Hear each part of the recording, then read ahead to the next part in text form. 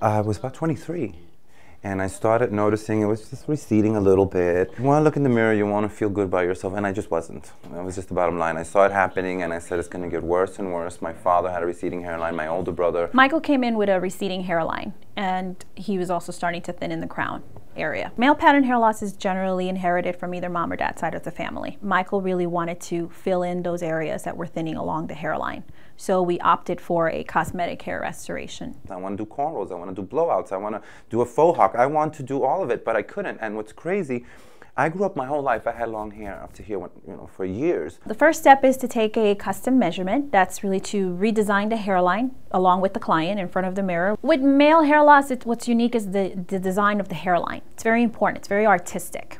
Uh, whereas women, when they when their hair thins, they still keep their hairline. Most men do not. So we want to design a very natural hairline that blends with their features. And also what kind of hairstyle is he looking to achieve. So we discuss that, the hairstyle, lifestyle, and age. After the measurements, we take samples of the hair and then that goes to a laboratory that will match the sample with human hair like Michael's hair.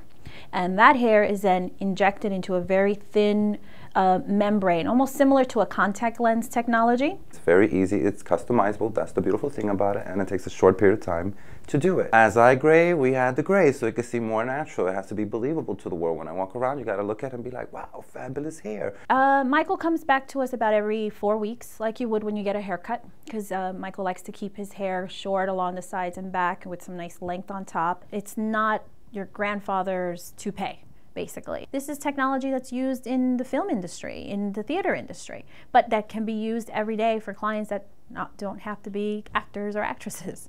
I feel fabulous. I feel younger. It, uh, you know, I was gaining some weight of depression. And once this sucker was on, I started running to the gym. It was all about working out, getting myself back into shape. It changed my life and it makes me feel good. And that's what matters. If I feel good, that's what matters.